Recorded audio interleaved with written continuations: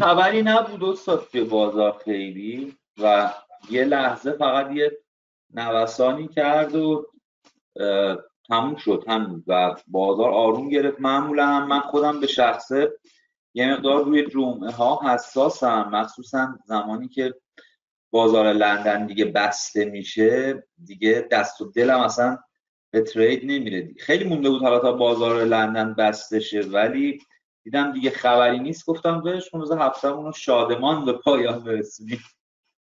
خیلی خوبه عالیه. من خیلی از موقع وقتی که بچه از من می‌پرسن دوشنبه یا جمعه خیلی ها رو دوشنبه هستن خیلی ها رو جمعه. میگن دوشنبه بازار باز میشه تا جا بیفته یه مدتی طول می‌کشه. البته من خودم چون تو بازار نیویورک کار می‌کنم قاعدتا دوشنبه وقتی که من روز کاریم شروع میشه به اصطلاح دوازده ساعت چهارده ساعت از باز شدن بازار گذشته بازار جا افتاده همیشه. اما همیشه من مثال شهرروز رو می‌زنم. شهرروز دوست دارم در مورد این برای بچه ها توضیح بدی. حالا بچههایی که هستن ضبط هم میشه برای بچههایی که بیان تا اضافه شن. خیلی خوبه این مطلب رو گفتی. یه چیزیه که همیشه بچه ها سوال می‌کنن. این تجربه ای که داری یعنی به خاطر اینکه جمعه های زیادی رو توی مارکت بوده این تجربه رو داره این آمار دستشه. یعنی وقتی داره میگه من خودم هم اینجوری هم جمعه ها واقعا. مگه اینکه یه اتفاق عجیب و غریبی بیفته مثلا نمی‌دونم یه خبری باشه که رو مومنتوم بازار باشه یا یه اتفاقی بیفته. مثلا شاید الان اگه تصویب بشه اگه تو سنا تصویب بشه S&P حرکت بکنه بازار یه تکونی بخوره. تو بازار آمریکا. اما همچنان مونده و ساعت داره میگذره. تقریبا دوازده نیم ظهر به وقت نیویورک تریدرها یادتون باشه حجم تریدرها این روزا علاوه بر اون توضیحی که شهروز میده راجع به جمعه من اول بگم حجم تعداد تریدرها این روزا کمتر شده. چون خیلی از تریدرهای وال استریت ورکشاپ قبلی گفتم. گفتم اگه امروز تو خونه ای خیلی خوشحال باش که با این سیستم دوروبرت با این تجهیزاتت آشنایی داری. چون خیلی از trader های Wall Street امروز به خاطر کرونا مجبور شدن بشینن تو خونه هاشون trade کنن. برای همین تعداد معاملاتشون کمتره. برای همین حجم trade شون کمتره. و اینکه اونا دارن با یه lifestyle جدید آشنا میشن. خیلی نکته مهمی. تو یه سر و گردن از اونا بالاتری.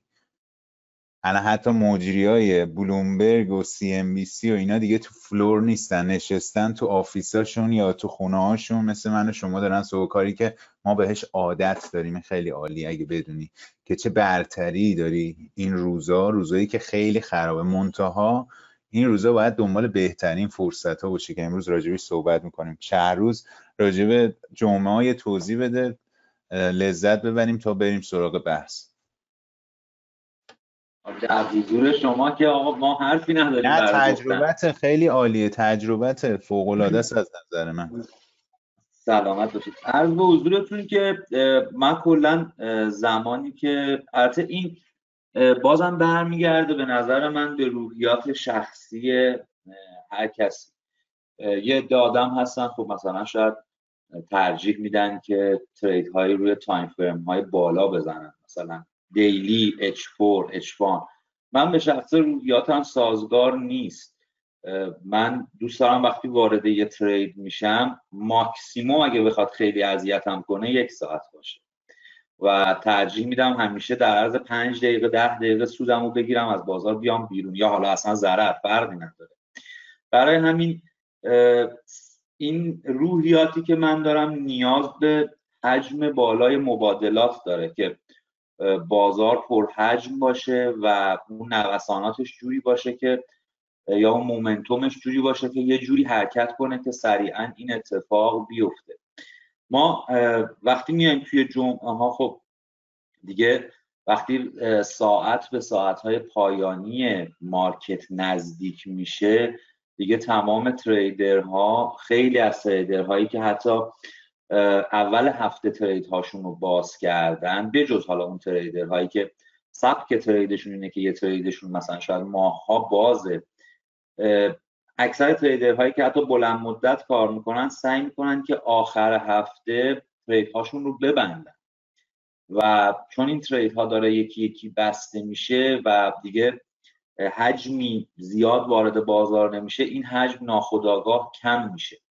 وقتی که حجم کم میشه اتفاق خیلی خاصی نمیفته یعنی یا حالا بازار یا حالت range یا corrective به خودش می‌گیره و اون حرکتی که دل بخواه من باشه رو دیگه نداره.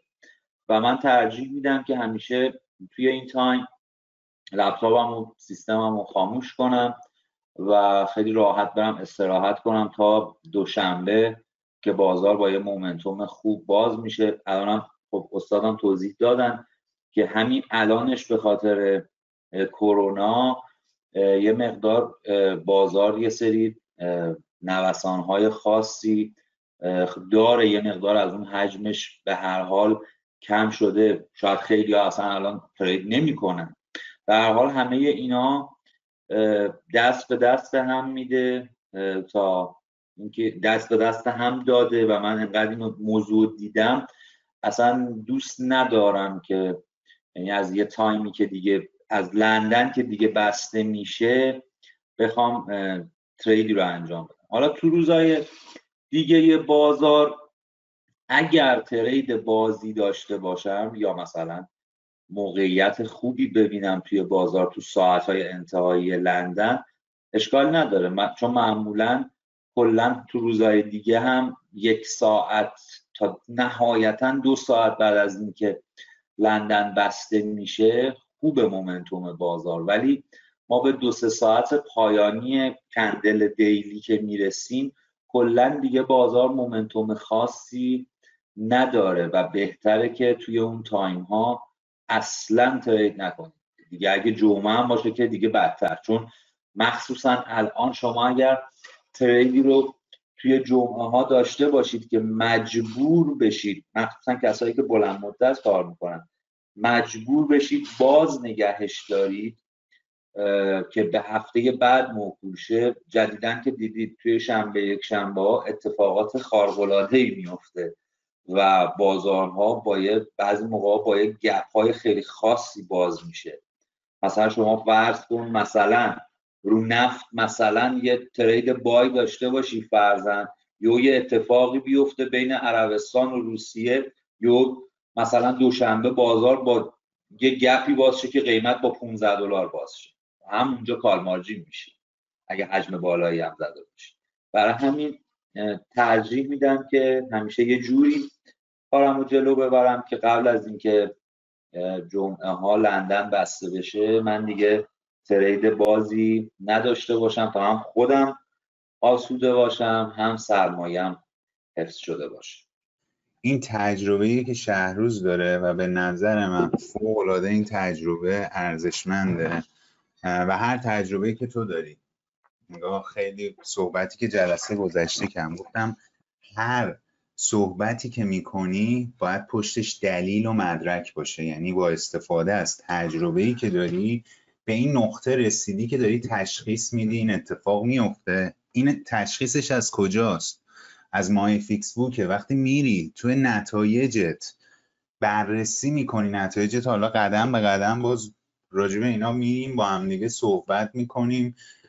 دونه دونه براش پلن دارم. دونه دونه امروز راجبه یه سری نکته می‌خوام باد صحبت کنم که چشمت باز باشه.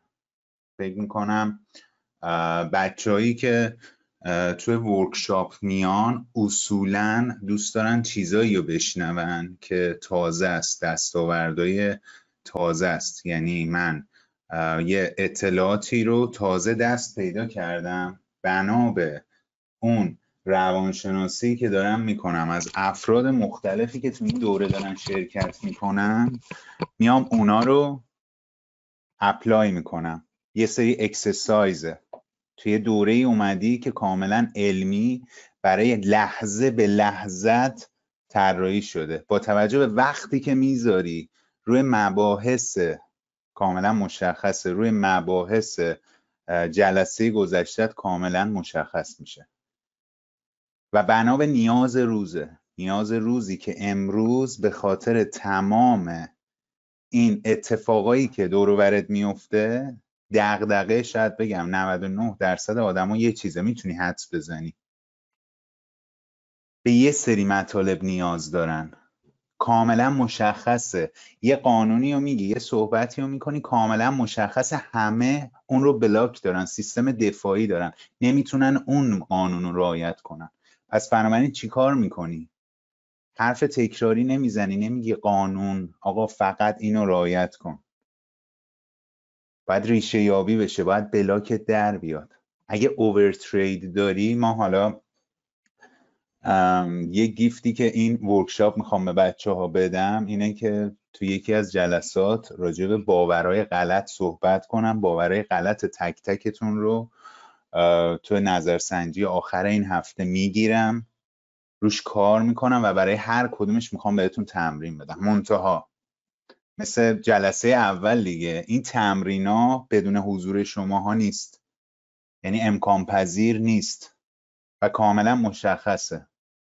مشخصه کی دوست داره رشد بکنه. این واقعیتیه که تو میای اینجا. من خیلی جدی چون دوست دارم تو رشد کنی چون دوست دارم تو بالا بری چون تو این دوره ای. چون دوست دارم اثر بخش باشه. برای تو به تنهایی طراحی میشه. منتها این تویی که موقع تمرینا بهت میگم تکنیکشو چی کار بکنی. تکنیک نفس کشیدنش هم بهت میگم. بهت میگم چی کار کنی وقتی اوور ترید می‌خوای بکنی جلوشو بگیری. دیگه خیلی دیگه نخوای اجراش نمی‌کنی. یعنی اگه نخوای موفق بشی این کاری که این راهی که من دارم بهت میگم و نمیری. یعنی می‌تونم یه دوره ورکشاپ برگزار کنم راههایی که نمی‌تونین موفق بشین. آقا این کارهایی که میگم رو دقیقا انجام ندین تو این کار موفق نمیشین. چون خودم هم حتی اون کارا رو می‌کنم موفق نمیشم. اوورترید خودم هم می‌کنم موفق نیستم. جنراله تمام مبحث و جمعه رو خیلی قشنگ گفت. شهروز راجع به جمعه صحبت کرد فوق است. بنا به چی؟ بنا به رفتن و چک کردن و بررسی نتایج خودش که بسیار مهمه. نمی‌دونم چقدر تجربه داری. با دمویی با ریلی با یه هفته تجربه داری. داره شیطونه گولت می‌زنه بری تو ریل. اما تا پایان ورکشاپ محکومی که صبر کنی پایان ورکشاپ دو ماه باید بری دمو کار بکنی. اگه بخوای اصولی کار بکنی. نمیگم یه سال برو دمو کار کن. از اون دو ماهی که بهت میگم یک ماهش رو واقعا کار بکنی هفته به هفته مشخص میشه چه روندته. پس مسیر طولانی نیست. خیلی از بچه ها مسیج فرستادن استاد بروکر بگین من می‌خوام برم من می‌خوام شروع کنم. workshop دیشب زندگیمو تغییر داده. میگم نصب کن. این همونجاست که تو بعدا همون رفتاریه که وارد overtrade میشی. من دارم دونه به دونه step به step میرم جلو. استاد گروه VIP. آینده رو کاری ندارم. امروز می‌خوایم راجع به یه مطلب بسیار مهمی صحبت کنیم. که یکی از نکاتش هم همینه که بررسی می‌کنی نتایج عملکرد خودت رو. تو توی گذشتت نمیمونی. توی بدترین تریدایی که جامعه کردی نمیمونی. از اونا گذر کردی. اما یه درس مهم رو یاد گرفتی. اون درس رو دیگه اجراییش می‌کنی. هر اتفاقی بیفته اون رو اجرایی می‌کنی. آقا ساعت کاری داری. گروه وی آی پی من می‌بینم کاملا. حالا خوشبختانه خیلی از قانونایی که هست تو خود گروه وی آی پی حتی بچههایی که با من شخصی کار می‌کنن رعایت نمی‌کنن و ضربش رو می‌خورن.